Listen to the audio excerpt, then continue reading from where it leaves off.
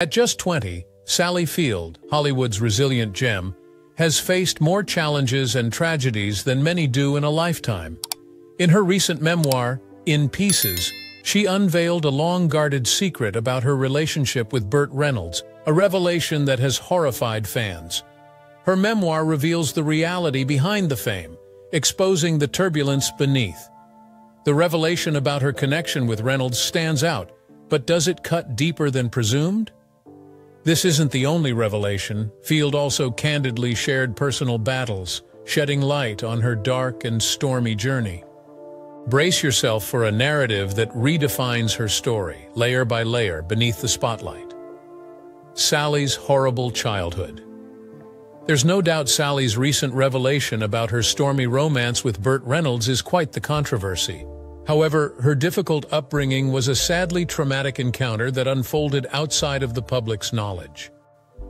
Born in 1946, Sally Margaret Field grew up in Pasadena, California, as the daughter of actress Margaret Field and salesman Richard Dryden Field.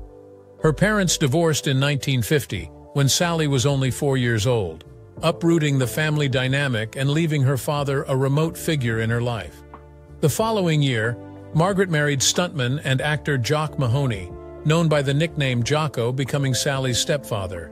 Initially charming and doting, Jocko soon revealed a darker side by taking a twisted interest in his adolescent stepdaughter.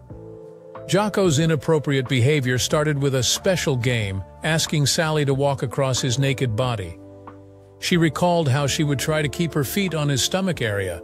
However, he would whisper, asking her to go lower.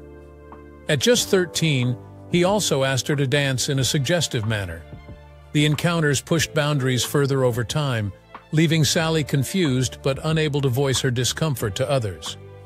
The abuse by her stepfather cast a shadow over Sally's psyche, manifesting in poor school performance as she coped through disassociation and retreating inward. Though Jocko never forced intercourse on Sally, his violations robbed her of security planting seeds of shame and secrecy. With no protector in sight, Sally endured the abuse silently while finding a faint silver lining in the coveted attention. Margaret, her mother, turned a blind eye to warning signs, neither safeguarding her daughter nor providing nurture during this formative period.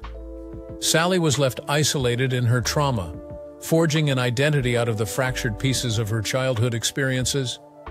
While Sally found minor refuge in school plays, her home life only